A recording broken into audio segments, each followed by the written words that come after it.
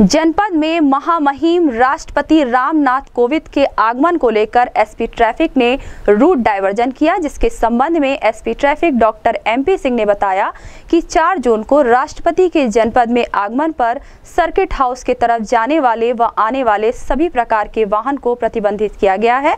इसके अलावा गीता प्रेस की तरफ़ आने वाले व जाने वाले वाहन को भी प्रतिबंधित किया गया है। यह सभी वाहन को जाने के लिए रूट डायवर्जन किया गया है। इसी तरह गीता प्रेस की तरफ़ जाने वाले सभी वाहन प्रतिबंधित रहेंगे। जिनके पास पास रहेगा वही व्यक्ति जा सकेंगे। बाकी लोग डायवर्जन रोड पर ही आएँगे व जाएँगे। उन्होंने कहा कि गोरखनाथ मंदिर जाने वाले मार्ग को भी प्रतिबंधित किया गया है।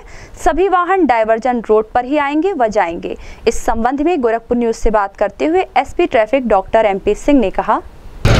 माननीय राष्ट्रपति भारत सरकार के आगमन पर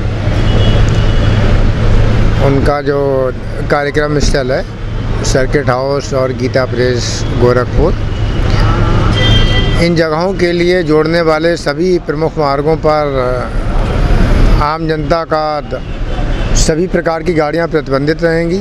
छोटे और बड़े वाहन कोई नहीं आएँगे। सभी के लिए वैकल्पिक मार्ग की व्यवस्था दी गई है और हर जगह से गुजरने वाले एंबुलेंस के लिए हमने विशेष बंदोबस्त किया है ताकि किसी नागरिक के लिए ज़रूरत के समय में कोई परेशानी ना हो। अभी स्पेशली घोष कंपनी से रेती की तरफ़ जाने वाले सभी रास्तों पर सभी प्रकार के वाहन प्रतिबंधित हैं, केवल आमंत्रित व्यक्तियों के लिए या ड्यूटीरत व्यक्तियों के लिए ही जाने की अनुमति है। तो आम जनता से ये अनुरोध है कि जो डाइवर्जन हमने मीडिया में भी दिया है और सब लोग अनावश्यक मूवमेंट ना करें और उस डाइवर्जन को फॉलो करें।